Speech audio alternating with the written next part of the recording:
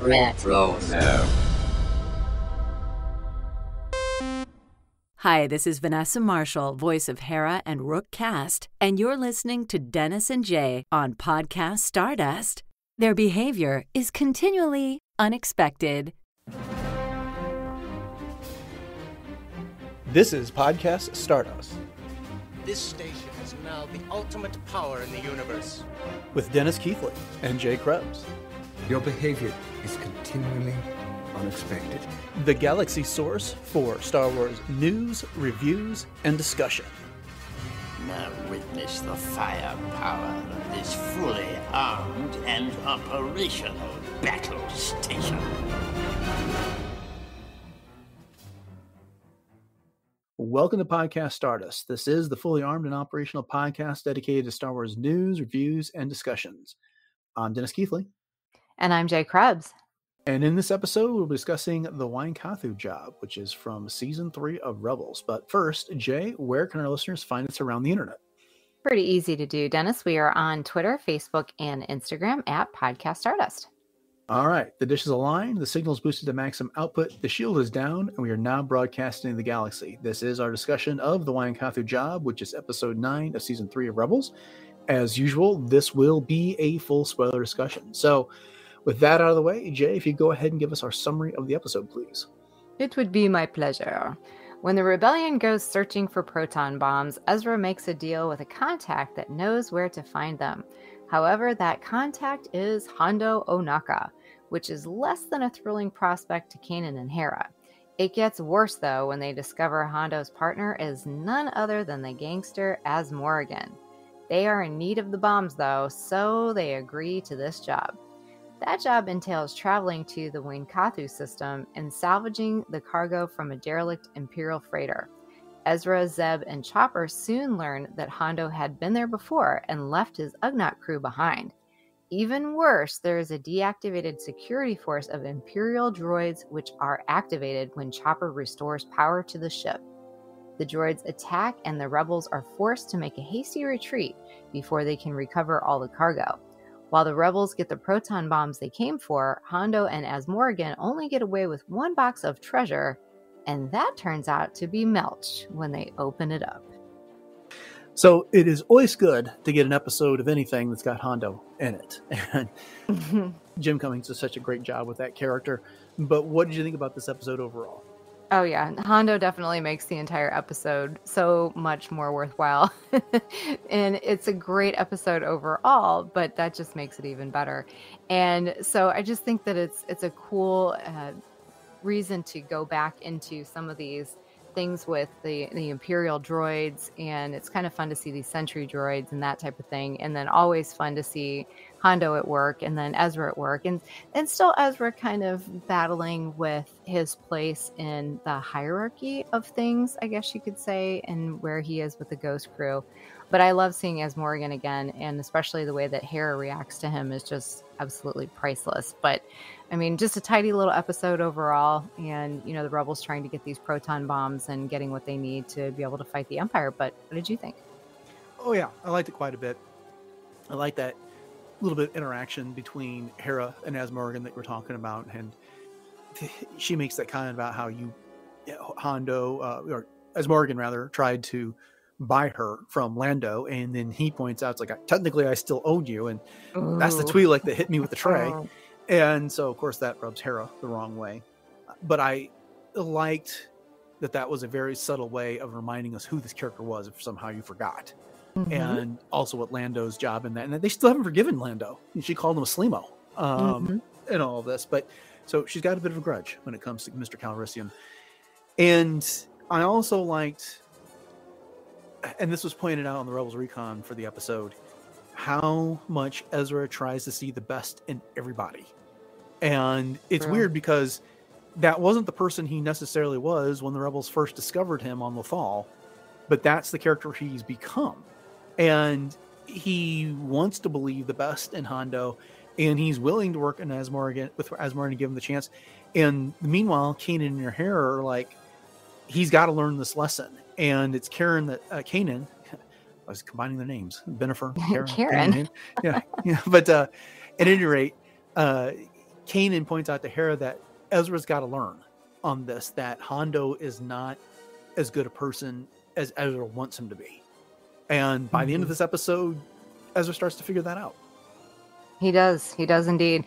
And it's hard because Hondo is such a likable person in Mhm. general. And he has worked with Ezra several times in the past. And he has been in some pretty big pickles with Ezra. And Ezra has always kind of respected Hondo, I think, in a lot of ways. And he, I think, sees him as a little bit of a kindred spirit, too, because with Ezra being such a Loth-rat and having to steal to survive and be kind of cunning in a lot of different ways and sort of charm other people into liking him just so he could get what he wants. I think he sees a lot of that reflected, you know, in himself with Hondo.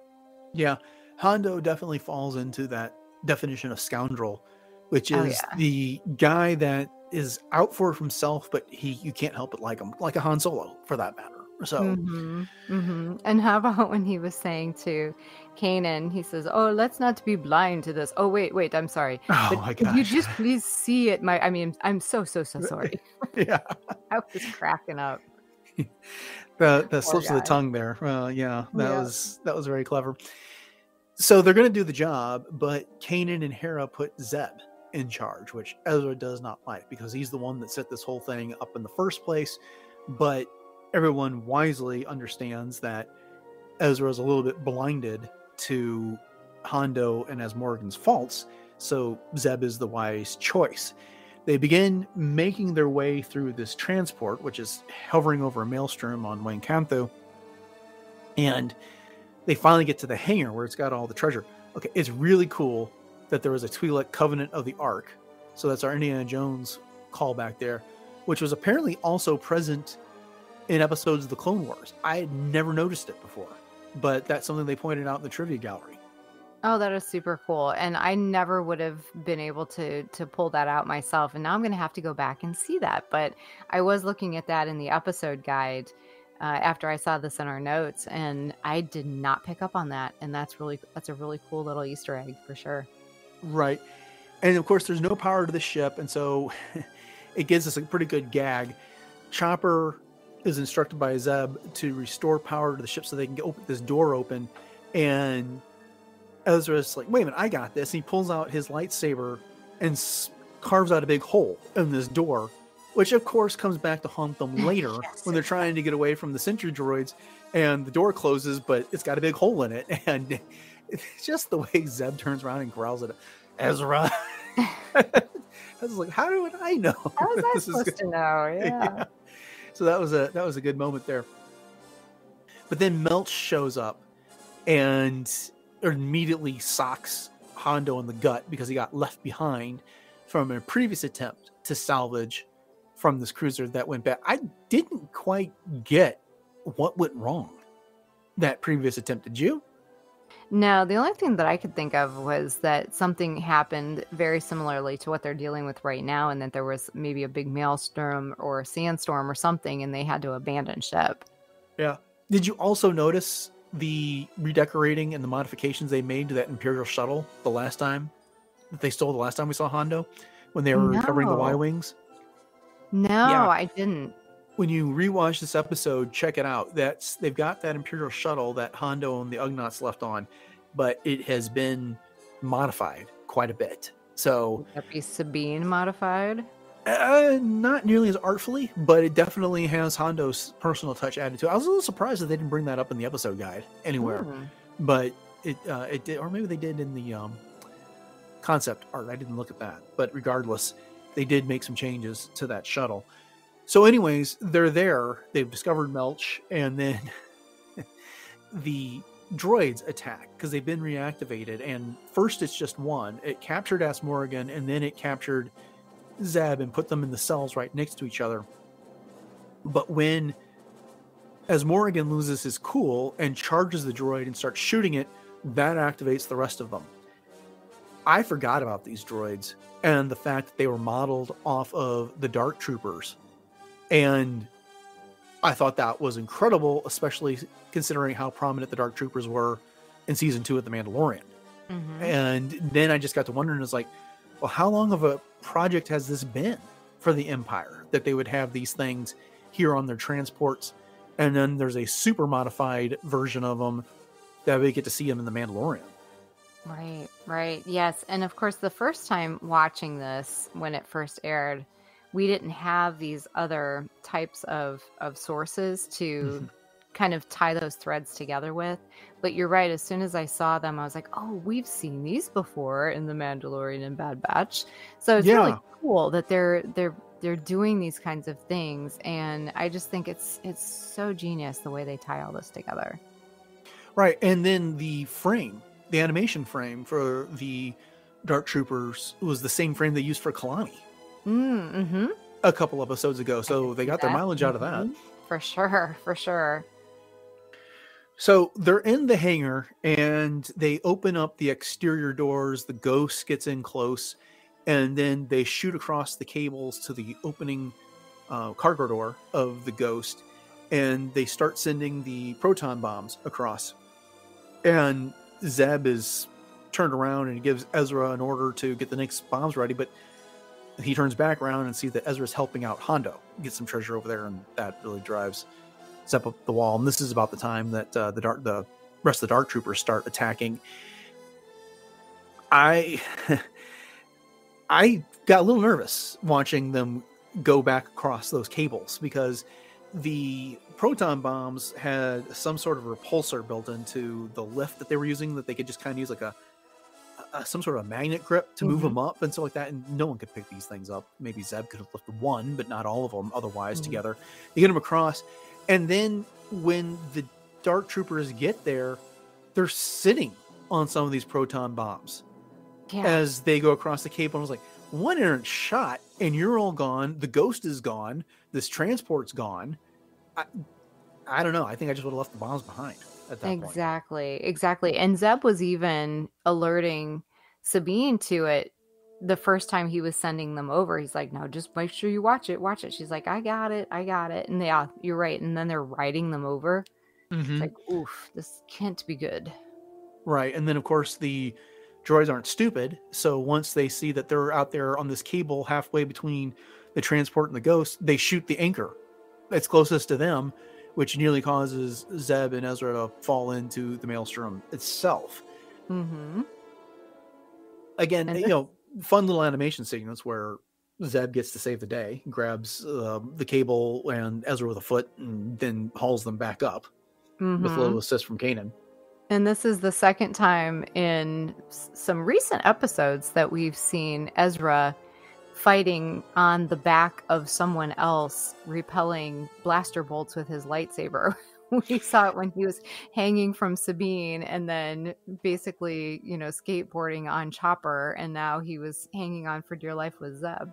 Yeah, this time though, I think he was much better positioned because when Yeah. he was with Sabine back on um, Conquered Dawn and they're flying through that ravine, he's dangling below her and Mhm. wasn't really providing her any protection. This time, he actually got to provide some protection for Zeb, Point. much more this time around. I know this is a pretty straightforward episode. Of course, you know when they finally get away from the Dark Troopers, they open up the box and Melch is inside, and they thought he had fallen over the side earlier and perished, and that didn't really bother Hondo too much. Of course, he was trying to make the most of it here, and he's like, "Well, I suppose friendship is the best treasure," and of course, it's not convincing at all when he says that. And then, Azmorigan, being Azmorigan, points out, well, they were partners, so technically half of Melch belongs to him.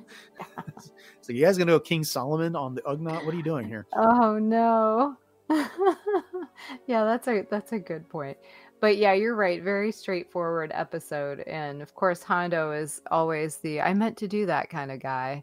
But I think he's been to the point where he's been thwarted so many times with his treasure that he's very much like a Jack Sparrow in that way. And that he almost expects to lose, but it's nice when he wins every once in a while. So Mhm. having Melch was not like the biggest letdown in the world. You know, I could really go for an animated series focused on Hondo. Oh yeah. especially it kind of transcends that time between the Clone Wars and Rebels and just his misadventures. You know, you, it, and kind of what made me think of this is your whole liking him to Jack Sparrow, and you know that was a guy who was constantly losing his ship and getting it back, and then insisted he was a captain, even though he didn't have a ship. And Hondo was similarly insisting he's this pirate king, and even though he doesn't have a crew, and then he's reduced to working with Ugnaughts mm-hmm. as opposed to all the other Weequay. I don't know. I think that'd be fun. Maybe I should pitch oh, that yeah. to Lucasfilm. Oh heck yeah! I like that idea. Ohnaka's Travels. That would be amazing. Pirate's Price. That was the uh, nice, book yeah. that they did. That it was a kids' book, but that's uh, that was an awful lot of fun. Mm-hmm. Well, I, this is a sh- short discussion, but like I said, it's it's really straightforward. It's a lot of fun. Definitely worth the uh, 23 minutes that the episode is long. Uh, you have any other final thoughts before we wrap this up? No, I think you know, as you said, it's very straightforward, tight little episode, a lot of fun. You know, Hondo definitely makes the whole episode the most fun I think out of everything. But uh, but yeah, I think it did what it needed to do in its storytelling, and good episode. All right. Well, then I'll just wrap it up with a programming note. Since we do have the Book of Boba Fett, we won't be doing any more Rebels discussions for the next six weeks until the Book of Boba Fett wraps up, and then we'll get back into season three of Rebels. We just don't want to tie up two thirds of our week every time doing episode reviews. So we'll continue to bring our reviews of the Book of Boba Fett. We'll do our news episodes We've got our Attack of the Clones series that's getting ready to get started. Of course, Jay has our monthly series of World Between Worlds. And then we have a couple of other fun episodes, uh, some book reviews and things like that that we're going to do. So that is just our programming note for this week. And with that having been said, I'd just like to thank you all for listening to this episode of Podcast Stardust and our discussion of the Wynkahthu job. And if you've enjoyed this episode, we hope that you'll subscribe to Podcast Stardust on your podcatcher choice. We'd also like to remind you that we are part of the RetroZap.com podcast network, and all episodes of the podcast can be found over on RetroZap.com. RetroZap is also the home to several other great podcasts covering everything from the MCU and DC to Dune and Star Trek. And as always, we greatly appreciate a five star rating and review over on Apple Podcasts or whatever podcatcher that you are currently using.